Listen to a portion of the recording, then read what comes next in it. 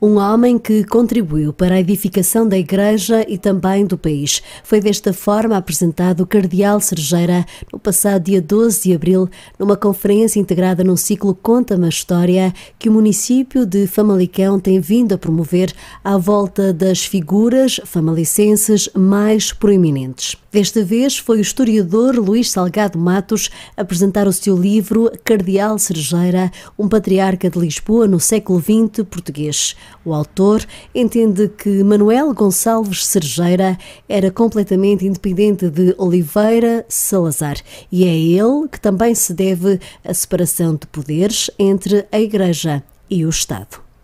Os meus parabéns a Famalicão por ainda se lembrar do Cardeal Sergeira o professor Salazar não era daqui e não só o professor Salazar era independente do cardeal Sagera, como lhe era subordinado. Porque o cardeal Sagera era um pouco mais velho, era padre, o que na altura era muito importante para uma pessoa como o Salazar. E era presidente da direção do CADC, uma Associação de Estudantes de Coimbra, de que o Salazar foi vogal. Portanto, o Salazar era independente do Cerejeira, mas era subordinado, moralmente. O, eu acho que nós devemos, sobretudo ao Cardeal Cerejeira, a separação entre o Estado e a Igreja nos anos mais recentes uh, do século XIX. O, o Cardeal Cerejeira nunca deu uma orientação de voto. Nunca, nunca disse votem neste, votem naquele. Nesta conferência, o arcebispo primaz de Braga sublinhou a importância do cardeal Sergeira na sociedade portuguesa. Nem sempre nós temos conhecimento da, da verdadeira intervenção dele na realidade pois, eclesial, em primeiro lugar, mas por não dizer também na realidade política. Não?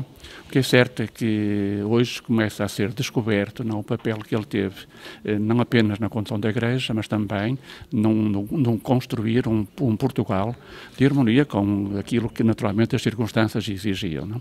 Foram 42 anos de muito trabalho, de muita dedicação, um homem extremamente inteligente e que eu poderia dizer que, de que Famalicão se pode orgulhar, porque efetivamente é um famalicense e é um famalicense que Famalicão tem que recordar e apetece-me quase que dizer tem que aprender com ele, para que efetivamente, sendo fiéis aos seus princípios, trabalhe eh, no sentido de construir esta sociedade de mãos dadas para o mundo melhor de todos.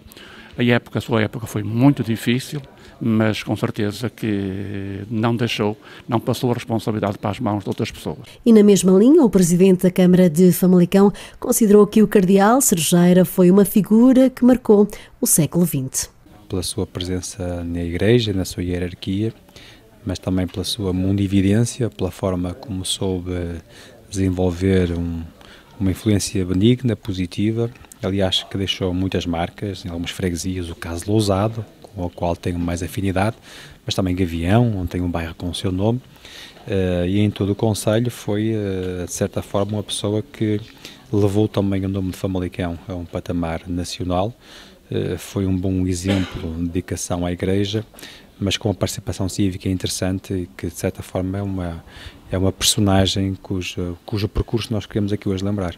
Que orgulho o Conselho. Orgulho o Conselho, é um cidadão de excelência do Conselho Vila Famalicão, um cidadão meritório, um cidadão cujo percurso merece ser conhecido para que possa ser replicado. É bom que os famalicenses conheçam aqueles que entre nós viveram e que mais se notaram e o Cardeal Sageiro foi claramente uma dessas personagens. No âmbito do ciclo de conferências Conta uma História, o Cardeal Sergeira foi a figura famalicense recordada no dia 12 de abril, numa sessão moderada pela investigadora em Direito da Universidade Católica do Porto, Inês Granja Costa.